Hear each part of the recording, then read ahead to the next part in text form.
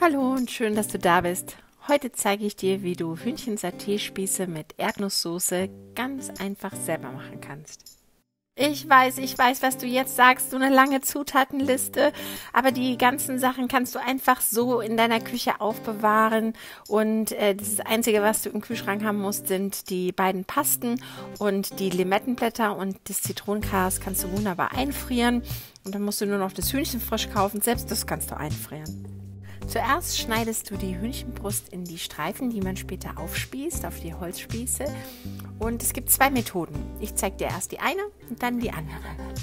Bei der Methode 1 schneidest du das Hühnchen in Streifen und dann nimmst du jeden Streifen und schneidest oben eine schmale, einen schmalen Streifen ein mit dem Messer. Du schneidest aber nicht ganz bis zum Schluss durch, sondern du hältst zum Schluss an, klappst es auf, drehst es um und schneidest dann an der Stelle, ähm, wo du merkst, es wird dicker, weil an der gleichen Höhe weiter ein und wieder nicht bis zum Schluss durch und dann klappst du es wieder auf. Die Methode ist nicht die einfachste, aber so wird das Fleisch überall gleich breit und gart damit auch gleichmäßig durch. Und man kann ein Stück pro Spieß benutzen oder vielleicht mal zwei, je nach Länge. Und nichts fällt in den Grill. Das ist manchmal das Problem, wenn man kleinere Stücke hat, dass sie dann in den Grill fallen. Und das passiert bei dieser Methode nicht.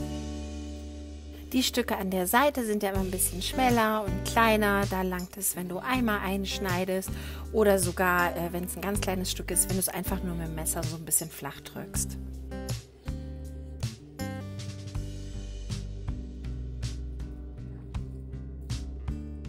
Jetzt zeige ich dir noch die zweite Methode. Bei der schneidest du einfach die Hühnchenbrust in Scheiben, meistens drei Scheiben, und setzt dein Messer auf einer Seite an, auf der gewünschten äh, Dicke, so einen halben Zentimeter vielleicht, und dann hältst du die Hand am besten oben drauf und äh, schneidest einmal unter deiner Hand entlang. Und dann nimmst du das äh, geschnittene Stück und schneidest in Streifen.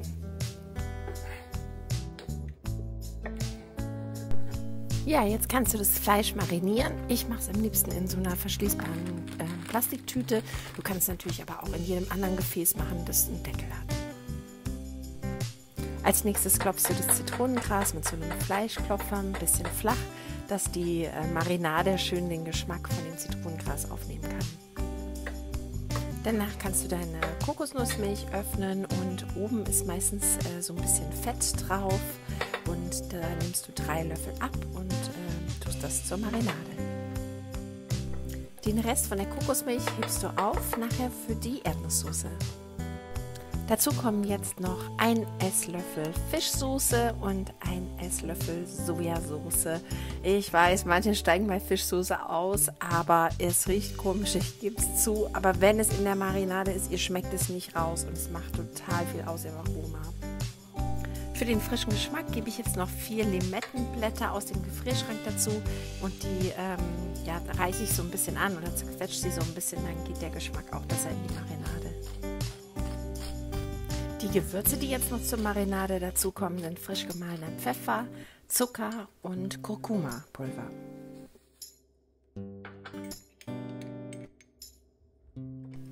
Als nächstes kommen noch zwei Knoblauchzehen zur Marinade und ähm, bei meiner Presse ist der Vorteil, dass man es nicht schälen muss. Ich habe die ehrlich schon seit hm, über 25 Jahren. Die ist von Sylis. Ich verlinke sie euch unten, falls ihr Interesse habt.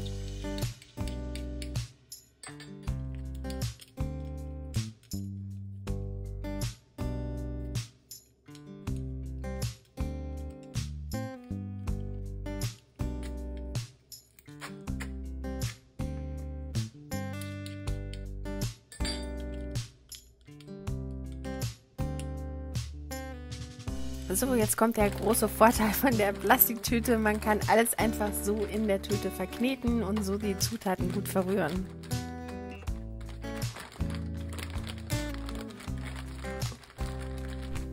Jetzt ist es Zeit, das Fleisch zur Marinade zu geben. Einfach alles in die Tüte schütten. Gib noch einen Spritzer Reisessig zur Marinade. Das hätte ich fast vergessen, dass das Fleisch schön zart wird.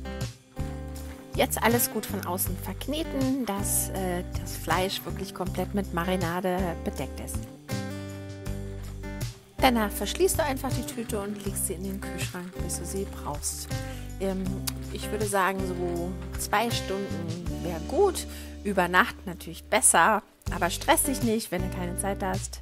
Zwei Stunden sind ausreichend. Jetzt kannst du mit der Erdnusssoße für die Saté-Spieße anfangen.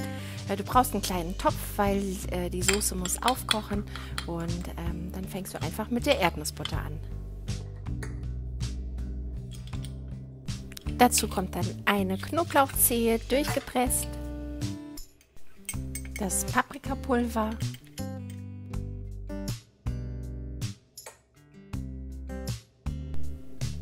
Anschließend gibst du noch zwei Esslöffel Fischsoße dazu.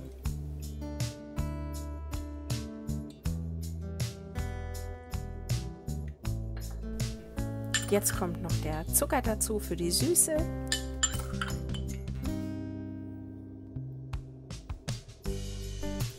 Danach einen Esslöffel von der Tamarinpaste und einen Esslöffel von der Massaman Currypaste und löst die ein bisschen in Wasser auf.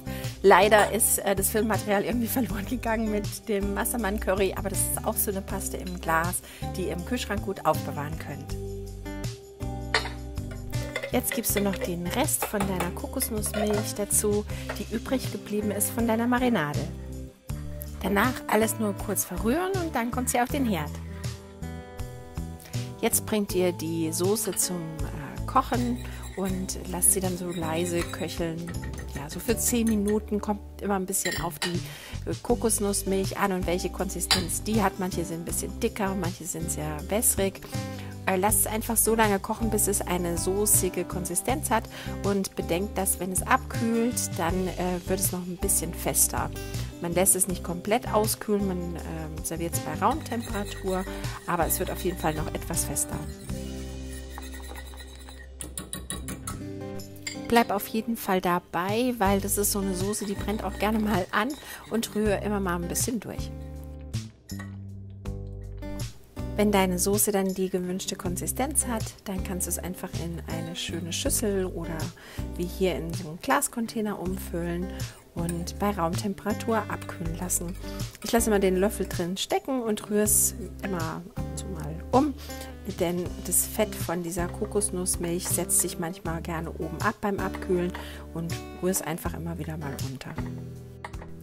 Nimm dein Fleisch so eine Stunde vorm äh, Grillen ähm, oder Braten aus dem Kühlschrank, dass es zur Raumtemperatur kommt. Äh, einfach, dass es schneller durchgart. Und in der Zeit kannst du die Holzspieße einfach in Wasser ein bisschen einweichen.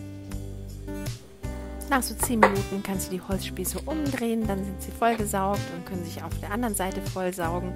Und das machst du einfach, dass sie beim Grillen später äh, nicht so ankokeln. Als nächstes kannst du das Fleisch auf die Spieße auffädeln. Nimm dir einfach einen Spieß aus dem Wasser und dann steckst du das Fleisch so drauf wie so eine Welle und stichst einmal oben und einmal unten ein. Je nach Länge von dem äh, Hühnchenstück brauchst du nur eins pro Spieß oder manchmal zwei. Ich schieb's dann immer noch so ein bisschen hin und her, dass es gut verteilt ist. Das Rezept verlinke ich dir wie immer in der Infobox. Wenn dir mein Video gefällt, freue ich mich über einen Daumen hoch oder du kannst den Kanal natürlich auch abonnieren. Das hilft mir enorm und ich sage jetzt schon mal vielen Dank.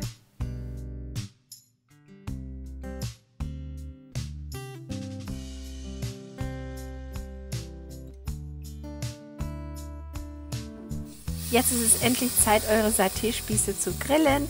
Heizt den Grill gut vor und stellt ihn dann auf niedrige Temperatur und dann dankt es dem Hühnchen, wenn es so zwei bis drei Minuten auf jeder Seite gegrillt wird. Jetzt die Spieße einfach umdrehen und von der anderen Seite nochmal zwei bis drei Minuten anbraten.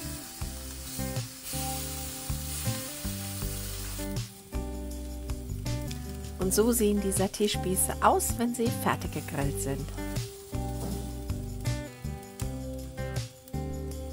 Zum Servieren könnt ihr jetzt einfach die Erdnusssoße direkt oben drüber geben oder einfach so servieren und die Erdnusssoße nebendran stellen.